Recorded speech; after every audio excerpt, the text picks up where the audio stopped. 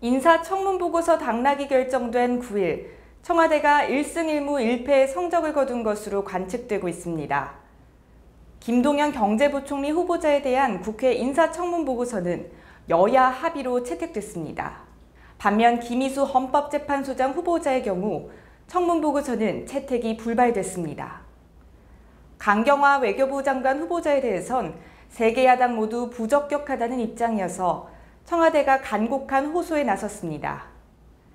청문보고서 채택 여부에 따라 향후 남아있는 인사청문회가 순항할 것인지 제동이 걸릴 것인지 분수령이 될 것으로 보입니다. 메일TV 선솜이었습니다.